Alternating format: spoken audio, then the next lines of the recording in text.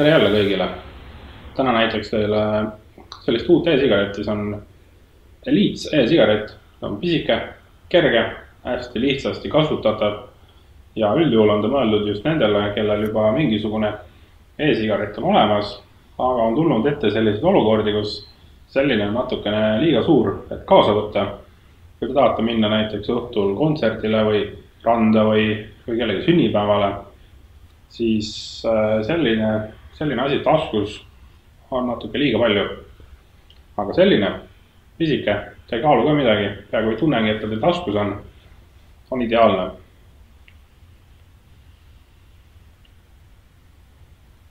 auru ta küll tekitab vähe, kuid sellest täiesti piisab. aga peaks ära mainima, et me soovitame siin kasutada kangemat e-vedelikku kui muidu.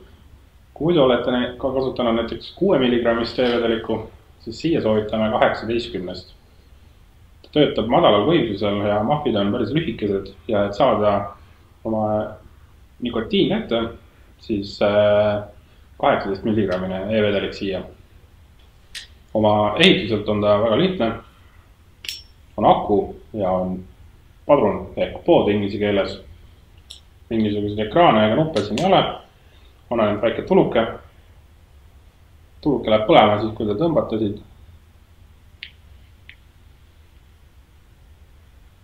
ja tuluke näitab ka aku taset. üks eelis äh, sellel e-sigaretil teiste sarnaste e-sigarettide ees on see, et padrun on täidetav. paljudel teistel on juba padrunid äh, eeltäidetud, juurde täita ei saa. ja see tähendab, et te olete selle tootja maitsevalikust sõltuv. kuid siin äh, saate kasutada enda vana head e-vedelikku edasi. komplektis on siis aku, üks padrun ja USB kaabel.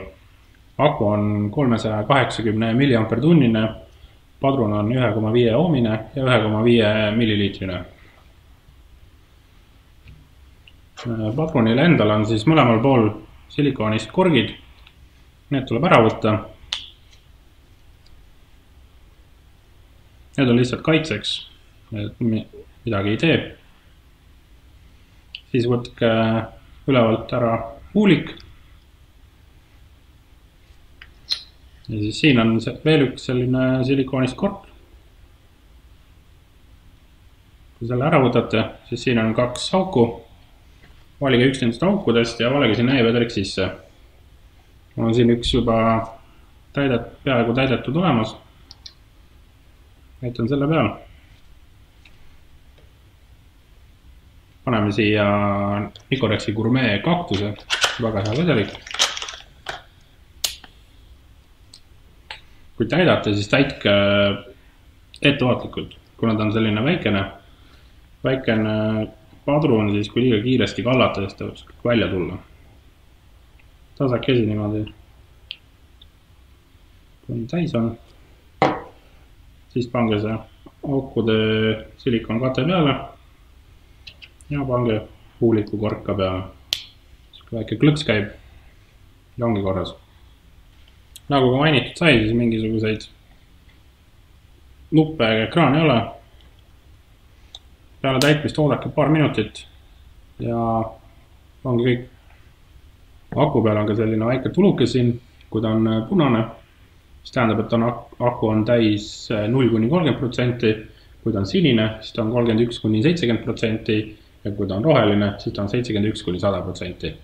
ja kui aku saab täiesti tühjaks, siis äh, sama tuluke vilgub kümme korda ja rohkem ta tööle ei lähe, siis peate laadima.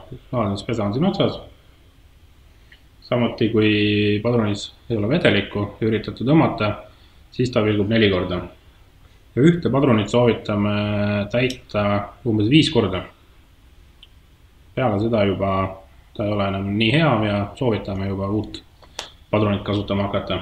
ise olen seda e-sigaretti kasutanud juba peaaegu nädal aega, mina olen väga rahul.